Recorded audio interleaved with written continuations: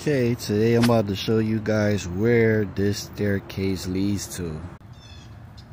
Okay, here's another staircase getting closer to our destination. Getting closer. Almost there.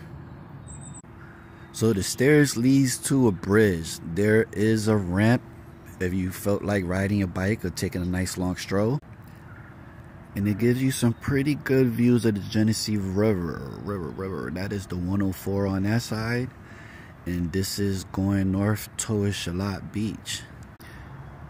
This is where we came from, and on the other side there is a staircase and a ramp as well that goes to the Maplewood Park area. You could kind of see the lighting's not that great, but there's a nice long ramp that goes up that way, and it's pretty similar to this side, which is the Seneca Park area which contains the Seneca Park Zoo.